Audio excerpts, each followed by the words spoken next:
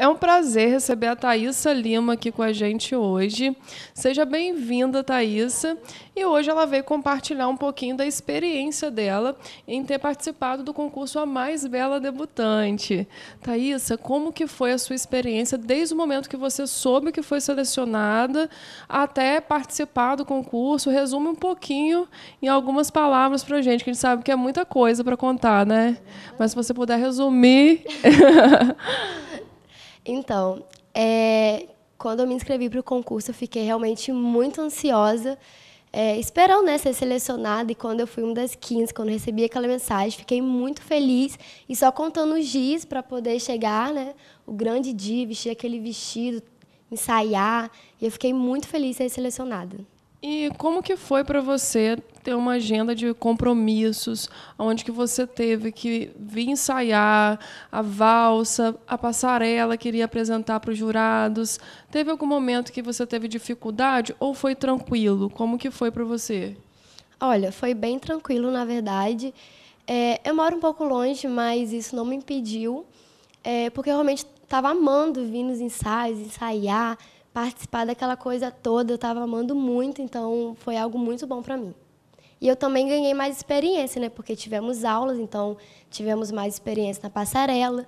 E só de estar ali naquele dia, né, foi como realmente tivesse no dia, né, nos 15 anos, porque só de vestir aquele vestido. E quando chega o grande dia, o momento de se apresentar para os jurados e fazer tudo que você aprendeu durante esse tempo de treinamento, como é que é esse frio na barriga, esse nervosismo que tem que controlar e não pode perder a simpatia, tem que continuar, né, com aquele rostinho angelical de princesa. Como é que é isso?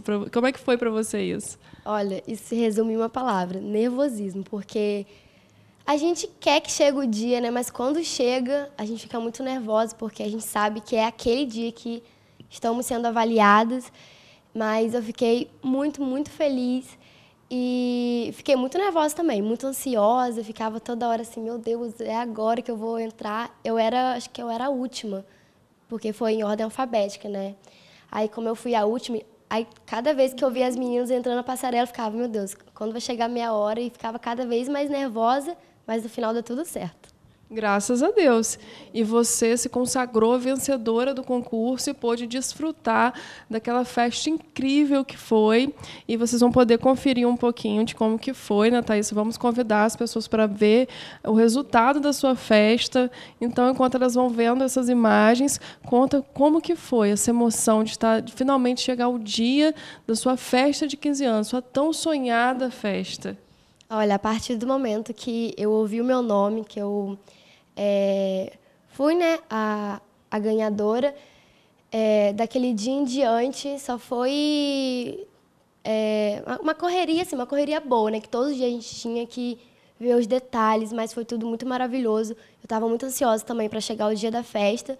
E todos foram muito maravilhosos comigo, todos os patrocinadores, muito atenciosos, sempre me perguntando se está legal, se está bom, sempre comigo, né, perguntando se está tudo ok. E a gente via a dedicação, o carinho, né, aquele amor que eles estavam realmente fazendo algo como se fosse a festa. E realmente foi a festa. Foi uma festa de princesa muito mais do que eu sonhava e imaginava. Então valeu super a pena. Muito, valeu muito a pena. E eu até falo para as meninas que têm esse sonho de, de ter essa festa de 15 anos.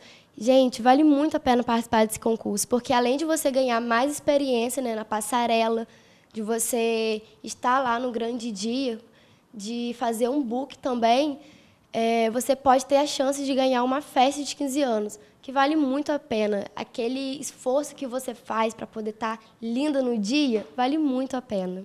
E a festa também, né? E foi o que você falou, todas as meninas querem registrar esse momento, ter um book de 15 anos. E conta um pouquinho também como que foi essa experiência de fazer as fotos para o book.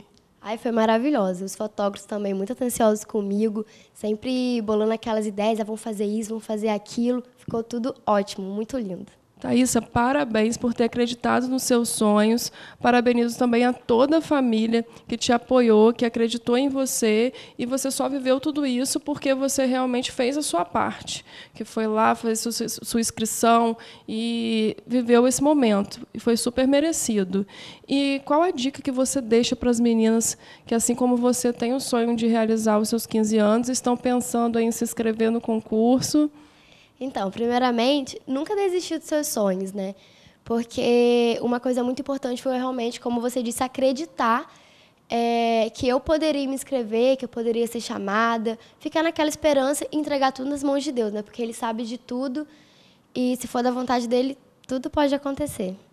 E as inscrições acontecem até o dia 7, não é mesmo? Isso. Até o dia 7, convido a vocês, meninos de 14 anos, para se inscreverem. Tenho certeza que vocês não vão se arrepender.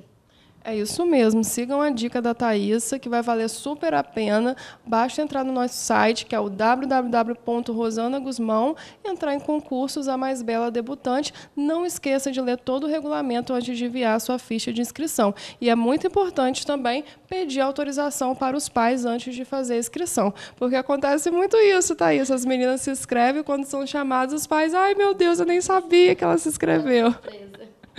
O que, que você tem a comentar sobre isso? Acontece, né? É, exatamente. É muito importante porque esse concurso, né, todas as meninas, obviamente, vão ser menores de idade, então Sim. elas com certeza precisam pedir permissão aos pais, né? Os pais precisam estar cientes disso.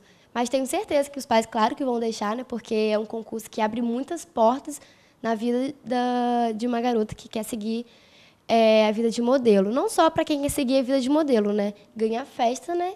Para quem sonha realmente ganhar a festa. Thaisa, e devido a essa participação no concurso, surgiram várias oportunidades para você, várias portas foram abertas, você fez alguns trabalhos. Como é que foi para você é, ter tido toda essa notoriedade no concurso, essa divulgação, e você ter conseguido realizar esses trabalhos e ficar mais conhecida? Como é que foi? Olha, com certeza foi muito bom. É, graças ao concurso também tive muita experiência e não somente ao concurso, porque nós tivemos aulas né, é, antes de acontecer o grande dia do concurso, mas também eu fiz dois anos aqui na agência e esse tempo me fez com que eu tivesse muito mais experiência no meu trabalho, fazendo que quando surgisse uma oportunidade eu pudesse ser mais ainda profissional. Thaisa, muito obrigada pela sua participação aqui. Que você continue sendo essa menina iluminada que você é e que você tenha muito sucesso na sua vida, que você merece. Muito obrigada.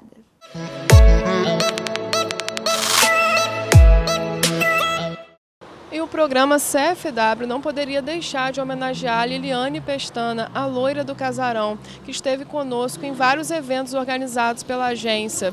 Então, vocês poderão acompanhar agora essa singela homenagem. E convido aqui ao palco a proprietária do casarão, a loira